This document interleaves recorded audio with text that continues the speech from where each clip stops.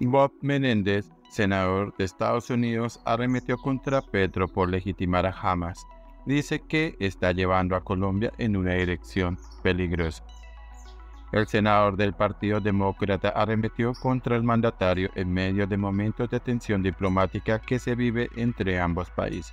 Siguen las críticas desde Estados Unidos a la posición del presidente Gustavo Petro sobre el conflicto que se vive en Israel y la actitud que ha tenido el mandatario de los colombianos, en la que no ha condenado el ataque terrorista de Hamas y en cambio ha tenido un discurso antisionista. Una de las nuevas críticas vino por parte del senador Bob Menéndez, quien aseguró que el presidente Petro está llevando a Colombia en una dirección peligrosa. En un momento en el que todas las democracias del mundo deberían apoyar firmemente a Israel tras los ataques terroristas de Hamas, el presidente Petro sigue llevando a Colombia en una dirección peligrosa que no hará más que legitimar a Hamas y socavar las normas democráticas, aseguró el congresista de ese país. No se trata de la única crítica que ha surgido desde ese país. La embajadora de ese país para asuntos antisemitas, Deborah Lister, también le hizo un fuerte reclamo al mandatario nos sorprendió ver al presidente colombiano Gustavo Petro comparar al gobierno israelí con el régimen genocida de Hitler. Condenamos enérgicamente las declaraciones del presidente Petro y le pedimos que condene a Hamas, una organización designada como terrorista por su bárbaro asesinato de hombres, mujeres y niños israelíes, aseguró Lipstick. Desde el Congreso de los Estados Unidos se han sumado otras voces que le pidieron al presidente Petro que condene el ataque terrorista de Hamas, algo que hasta el momento no ha sucedido.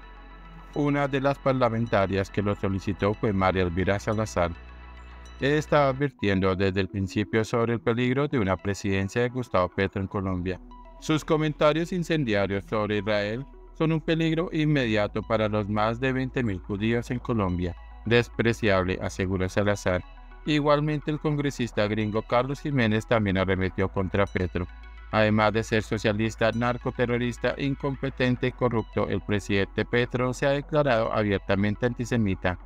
Este tipejo es una vergüenza para toda Colombia y para todos los colombianos decentes, afirmó.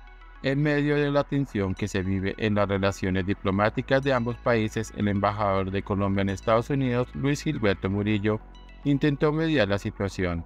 Según dijo, en las últimas horas le pidió respeto al presidente Gustavo Petro por parte de los congresistas de ese país. La cercanía y alcance de nuestra relación deberían ser suficientes para no trascender al lenguaje insultante y emocionalmente cargado que compromete la dignidad del cargo del presidente de Colombia y del propio presidente Gustavo Petro, aseguró Murillo.